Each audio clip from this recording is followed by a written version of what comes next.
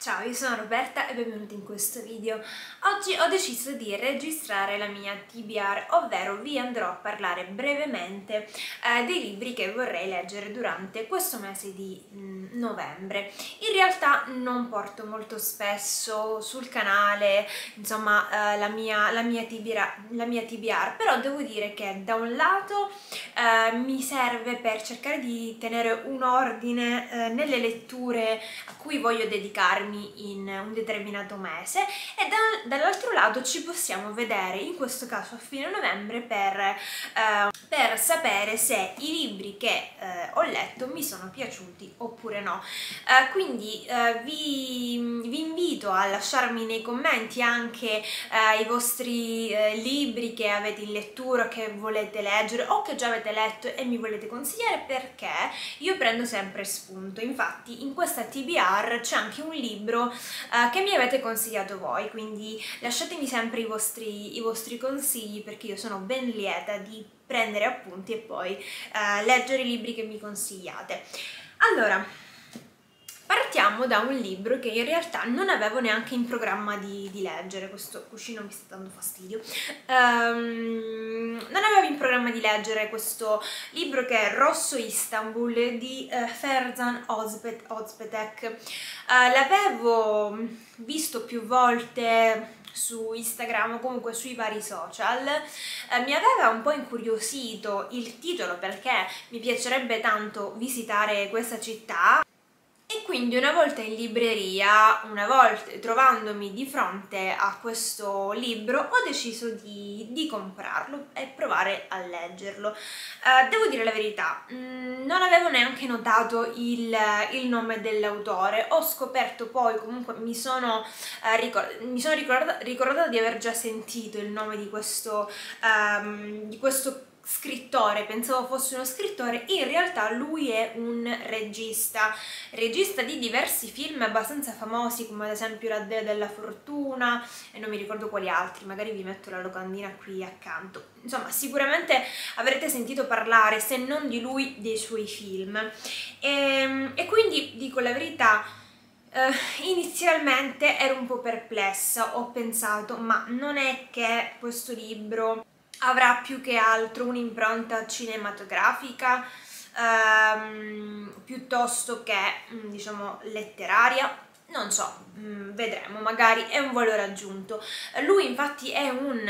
un, un regista nato a Istanbul, quindi un regista turco che si è trasferito poi a Roma per studiare cinema. E ehm, questo libro racconta un po' e credo sia proprio autobiografico, tutto parte da un suo viaggio a Istanbul, un, un ritorno a casa, nella sua casa d'infanzia dove lui visse in una sorta di harem tutto al femminile con la mamma e le zie che sono abbastanza particolari mi è sembrato di capire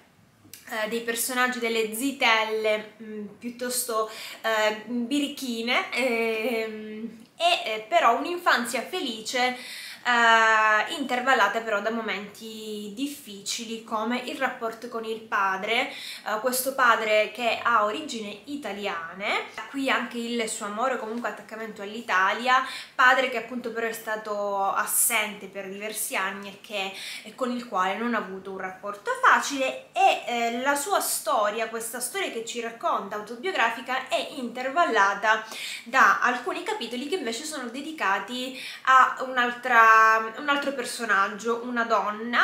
eh, che ehm, si ritrova nello stesso aereo di Ferzan diretto a Istanbul, lei però è, è un'italiana che ha organizzato un viaggio ehm, ad Istanbul con il marito e una, una coppia di, di, amici e collaboratori, si ritrovano nello stesso aereo e poi probabilmente si rincontreranno non so in quali condizioni condizioni. Um, credo che però uh, la vera protagonista di questo romanzo e il motivo per il quale effettivamente ho comprato questo libro è perché appunto uh, la vera protagonista è e dovrebbe essere Istanbul. Vedremo cosa, cosa mi, mi aspetterà.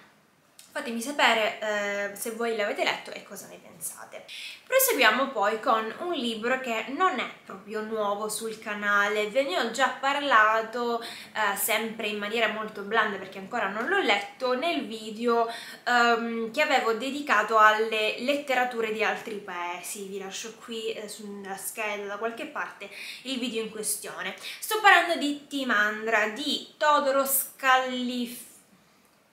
Callifatidis. Um, lui è uno scrittore eh, nato in Grecia, quindi appunto greco, che però um, poco più che ventenne si trasferisce in uh, Svezia e credo che uh, viva ancora lì, ormai è insomma abbastanza grande, ha più di 80 anni. Uh, questo suo libro risale, se non sbaglio, agli anni 80 e poi è stato recentemente ripubblicato da Crocetti Editore. Mi aveva incuriosito eh, per appunto il, mm, il, il, tema trattato, quindi eh, la, la, Grecia antica, ogni tanto a me piace eh, leggere eh, libri che si, si, propongono come una rivisitazione di, eh, di, di, di, miti o di storie del mondo antico. Um, in realtà forse questo è più particolare perché credevo che la vera protagonista di questo libro fosse appunto Timandra. Timandra è, è stata un'etera eh, vissuta nel V secolo e, ed è stata anche amante di Alcibiade. È la vera, il vero protagonista, la, la figura principale in questo, in questo libro è in realtà Alcibiade, raccontato però da eh, Timandra, sua etera e, e, anche sua amante, donna che ehm, rimase a lui vicina fino al giorno della sua morte e infatti tutto parte proprio da, da quel giorno, meglio dalla notte, eh, dall'ultima notte che Timandra passa con il suo Alcibiade, prima che lui si rechi dal re di Persia per chiedere aiuto, alleanza, e in quello stesso giorno, siamo nel 404 a.C., eh, eh, fu però ucciso. Alcibiade è stato un famosissimo condottiero, generale politico ateniese conosciuto soprattutto perché durante la guerra del Peloponneso cambiò più volte schieramento, prima con gli Atenesi, poi con gli Spartani, si fece quindi numerosi, eh, numerosi nemici. Ehm, quindi mh, mm, diciamo che è un racconto eh, di, di, di di questo amore più che altro perché la parte storica, quindi diciamo eh, la, la, cornice storica è ovviamente eh, presente, siamo nell'antica Grecia, guerra del Peloponneso, il Cibiade, eh, generale greco e così via. Eh, in realtà però mi è sembrato di capire che Uh, il, il, vero protagonista è un po' l'amore, questo sentimento fortissimo che Timandra sente per il suo Alcibiade. Um, leggendo qualche recensione, eh, però, um, mi è sembrato di capire che effettivamente si tratta di un amore più che altro carnale, questo amore carnale che è un po' il fulcro eh, del, del, del, della vita in generale di Timandra. Timandra è un'etera, quindi è uh, una sorta di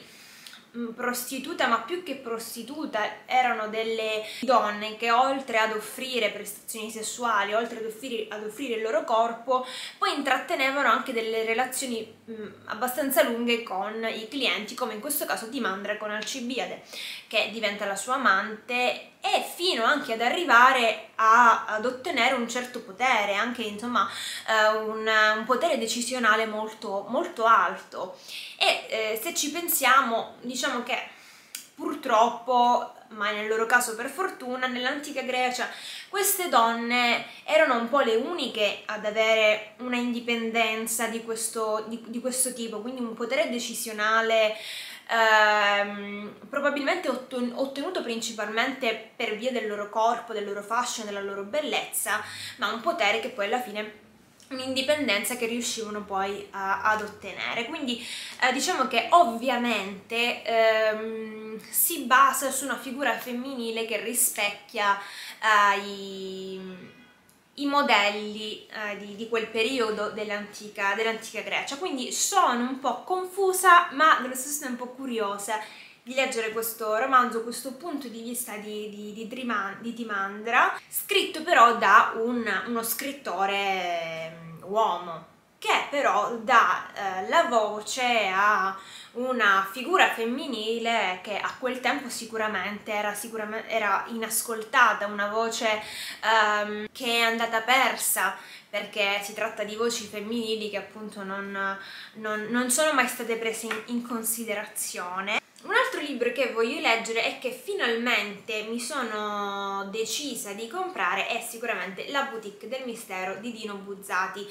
Questo libro, che in realtà è un libro di racconti, l'avevo sempre visto eh, in libreria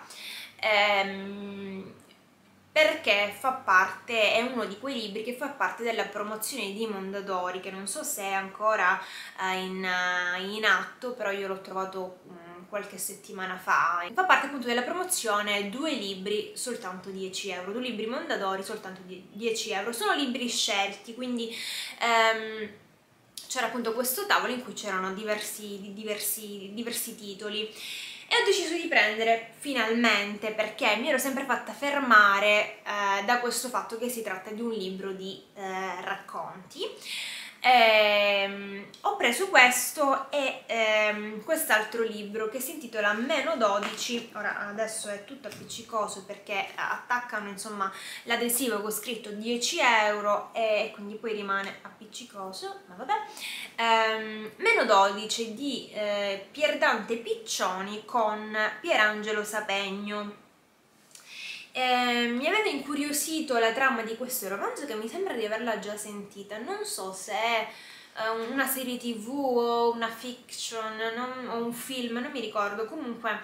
è la storia vera di Pierdante Piccioni, uh, medico primario all'ospedale di Lodi che per un incidente uh, perde la memoria e perde 12 anni di vita praticamente, perde 12 anni di memoria e devi ricominciare tutto da capo. Eh, mi faccio sempre incuriosire da storie vere che poi alla fine diventano libri o romanzi e quindi ho voluto, ho voluto prendere eh, questo libro in coppia con questo di Dino Buzzati. Mi sono un po' pentita perché, vi dico la verità, c'era anche un libro di eh, Dario Bressanini che è un chimico molto famoso su YouTube, io lo seguo da tanti anni, ma anche su altri social, Instagram e credo pure su TikTok, che spiega un po' la chimica delle pulizie, dei detersivi, dei cibi, eh, sono libri abbastanza mh, mm, pratici, nel senso che sono in grado di farci comprendere la chimica degli alimenti, dei detergenti e,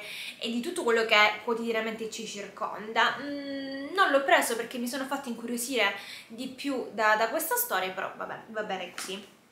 Uh, questo lo leggerò poi uh, più in là. Vi dico la verità, per curiosità ho uh, letto un, un, racconto, ho letto un brano. sono 31 brani, tra l'altro scelti dallo stesso Buzzati come i suoi migliori e raccolti in questo boutique, la boutique del mistero. E mi sono anche accorta che eh, nella copertina quello che io credevo fosse un insieme di eh, verdure,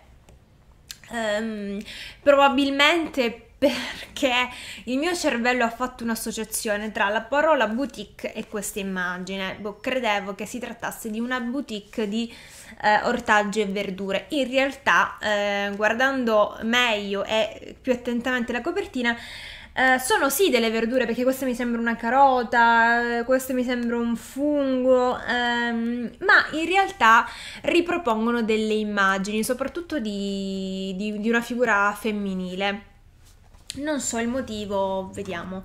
Ehm, ho appena letto che in copertina si tratta di ritratto del califfo Mash e Rum e delle sue 20 mogli, quindi queste sarebbero uh, le sue eh, 20 mogli in versione frutta e verdura. Ok, uh, quindi dicevo, ho letto per curiosità un racconto ed effettivamente la sensazione che mi ha dato è proprio quella di essere un po' avvolto nel mistero di situazioni